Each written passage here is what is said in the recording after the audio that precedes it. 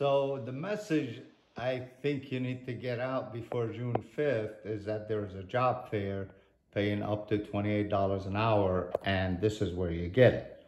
I run that message uh, twice just for emphasis, uh, but I'm also going to run the graphics that you sent me. They don't replicate here very well because these are only 128 pixels. So like avivametals.com works, the logo works, but you're gonna see these are I cut and pasted from your work. The flyers just don't repli replicate. Uh, but I will play them all through just so you see I did them.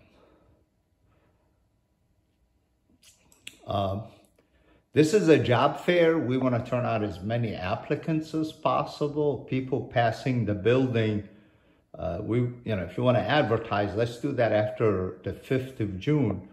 For now, let's turn out as many applicants as possible that day. And the way you do that is not by running all these different messages. Now, if you are going to use anything, I went to your website and got some photographs that could work.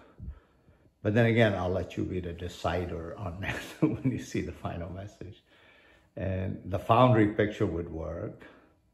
This wouldn't you know, the flyer that it came from and back to the logo and then back to the top. I believe this is a core message, drive through. I would like to see you add a phone number to it and then put the website at the end and that's it. And let's keep it rotating. Every uh, person passing you will only get to see about two messages. Okay, the end. And then the, the website after this. That's, I think, the message, but your call.